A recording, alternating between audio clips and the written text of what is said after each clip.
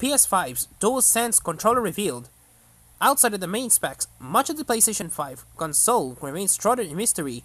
We know it's still due out as part of the holiday 2020 season, hopefully, but we haven't seen the system itself yet. To get us a little closer to the reveal, Sony shared the final design of the new PS5 controller, which is to be dubbed the DualSense. Picture above, the DualSense aims to combine with PS5's Tempest 3D audio tech to make for more immersive game experiences. Keeping a lot of make what made the PS4 controller work while adding in more feedback.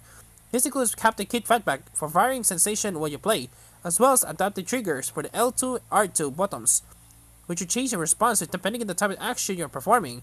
The share button has been replaced with the Create button, which keeps the same functionality while adding more ways for players to save content or share it with others. More details will come for aspect later. The light bar has been removed to either side of the touchpad, and there's a built-in microphone array that lets players engage to quick chat with friends, whatever they need, whatever the needs for a headset. Stay tuned for more on PS5 as it develops.